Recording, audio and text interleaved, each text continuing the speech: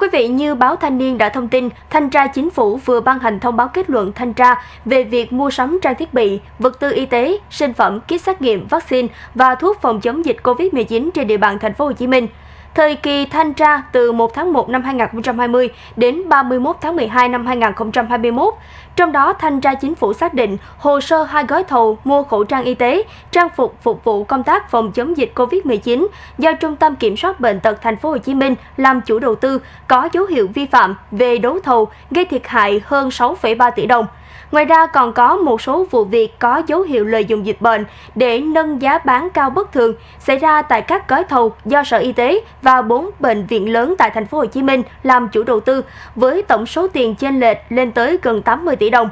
Ngoài chuyển hồ sơ sang Bộ Công an, một số vụ việc có dấu hiệu vi phạm pháp luật, thanh tra chính phủ còn chỉ ra hàng loạt thiếu sót trong công tác mua sắm trang thiết bị, kit xét nghiệm và thuốc phòng chống dịch COVID-19 trên địa bàn thành phố Hồ Chí Minh.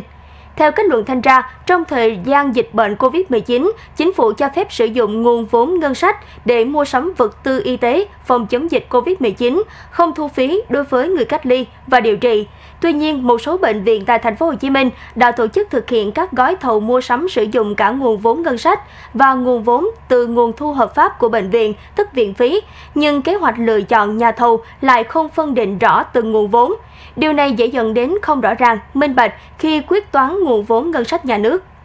Điển hình là tại Bệnh viện Nhi đồng thành phố, Bệnh viện Trương Vương, Bệnh viện An Bình, Bệnh viện thành phố Thủ Đức, Bệnh viện Nhi đồng 2 và Bệnh viện Từ Dũ. Trách nhiệm thuộc về giám đốc các bệnh viện này. Vẫn theo kết luận thanh tra, một số chủ đầu tư xác định số lượng mua sắm chưa sát với tình hình dịch bệnh, vượt nhu cầu thực tế sử dụng, dẫn đến số lượng mua sắm thực tế rất nhỏ so với số lượng được dự trù. Đơn cử, Bệnh viện Trưng Vương có 3 gói thầu mua sắm vật tư, sinh phẩm có số lượng mua sắm thực tế chỉ đạt từ 3,7% đến 6,3% so với số lượng trúng thầu.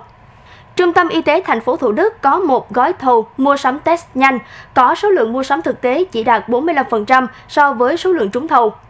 Bệnh viện Bệnh nhiệt đới có một gói thầu mua sắm test nhanh, có số lượng mua sắm thực tế chỉ đạt 0,5% so với số lượng trúng thầu. Đáng chú ý, Bệnh viện Bệnh nhiệt đới mua 5.000 lọ thuốc Medozopen nhưng đến ngày 31 tháng 12 năm 2021, tức là thời điểm kết thúc kỳ thanh tra, vẫn chưa sử dụng. Bệnh viện Nhi đồng thành phố mua 300 lọ hoạt chất immunoglobulin nhưng đến ngày 31 tháng 12 năm 2021 chưa sử dụng. Bệnh viện Phục hồi chức năng và điều trị bệnh nghề nghiệp cũng mua 5.000 lọ thuốc Rodila nhưng chưa sử dụng. Thanh tra chính phủ nhận định việc xác định số lượng hàng hóa mua sắm không sát với nhu cầu sử dụng thực tế cũng có lý do khách quan, đó là tình hình dịch bệnh diễn biến phức tạp, việc dự tính sát nhu cầu sử dụng thực tế là rất khó khăn, nên hầu hết trong các hợp đồng ký kết đều có điều khoản ràng buộc là nhà thầu cung cấp theo nhu cầu của chủ đầu tư. Trong kết luận, thanh tra chính phủ còn xác định tại các gói thầu áp dụng hình thức chỉ định thầu theo quy trình rút gọn, tất cả các chủ đầu tư được kiểm tra đều chưa làm đúng quy trình lựa chọn nhà thầu, dẫn đến kéo dài thời gian mua sắm, không đáp ứng được tính cấp bách trong công tác phòng chống dịch bệnh. Trách nhiệm thuộc về Giám đốc Sở Y tế Thành phố Hồ Chí Minh, Giám đốc Trung tâm Kiểm soát bệnh tật Thành phố Hồ Chí Minh và người đứng đầu 14 đơn vị mà thanh tra chính phủ tiến hành thanh tra trực tiếp. Theo kết luận, một số chủ đầu tư còn không công khai kết quả lựa chọn nhà thầu của một số gói thầu theo quy định, làm hạn chế thông tin về giá trúng thầu để các cơ quan, đơn vị tham khảo, đối chiếu khi xây dựng giá gói thầu. Thanh tra chính phủ cũng đề cập tới một số nhà thầu chưa đáp ứng điều kiện theo quy định. Điển hình là công ty trách nhiệm hữu hạn Đông Nam Dược Nhị Thiên Đường trúng hai gói thầu cung cấp sản phẩm test nhanh tại bệnh viện phục hồi chức năng nhưng lại không đủ điều kiện mua bán trang thiết bị y tế, dẫn đến không đủ khả năng cung cấp hàng hóa theo hợp đồng đã ký kết hay như công ty trách nhiệm hữu hạn thiết bị y tế Hoàng Ngân trúng thầu gói thầu mua sắm vật tư y tế, hóa chất, sinh phẩm y tế phục vụ điều trị người bệnh tại bệnh viện Giải chiến thu dung điều trị COVID-19 tại Trung tâm Y tế thành phố Thủ Đức nhưng lại không được ủy quyền phân phối sản phẩm.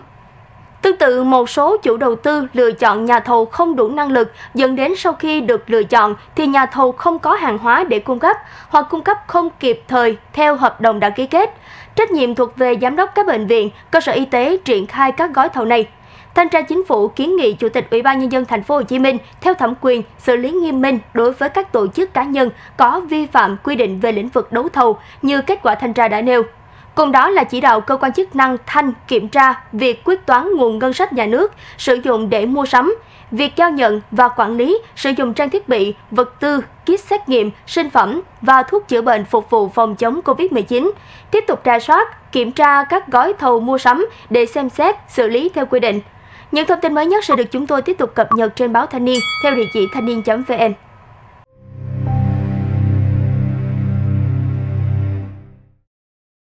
Chúng tôi biết bạn có nhiều lựa chọn và chúng tôi luôn là sự lựa chọn tốt nhất. Đăng ký kênh youtube Báo Thanh niên để cảm nhận nhịp thở xã hội đầy màu sắc trên màn hình của bạn.